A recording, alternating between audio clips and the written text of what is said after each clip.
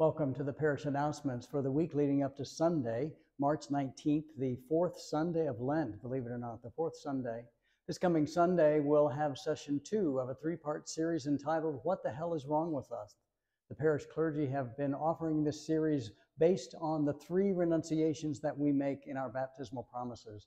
This week, uh, Jenny Ovenstone will lead us on a presentation about question number two Will you renounce the evil powers of this world which corrupt and destroy the creatures of God? So, we'll be looking at the problem of sin and evil in terms of systemic sin, evil done on our behalf, uh, evil uh, that happens without our intent. Uh, important uh, conversations. I hope you'll join us. And if you can't join us in person, uh, it is available, recorded, and online. You can watch uh, the whole series as it unfolds. Also, remember Compline by Candlelight at 7.30. Thank you for doing your part to keep our parish uh, Lenten discipline of one hour of worship every week.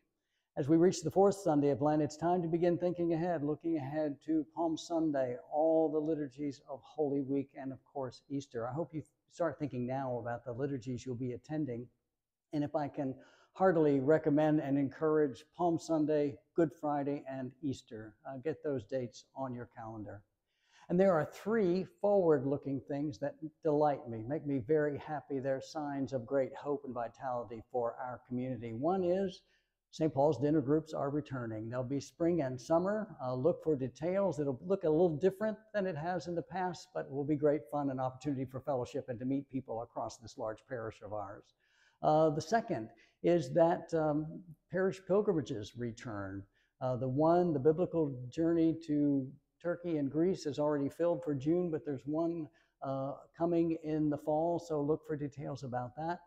And then, last but certainly not least, Shrine Mont is back uh, in full force. Uh, May 19 through 21. I mention it today because the deadline for registration is March 20th, so it's coming up.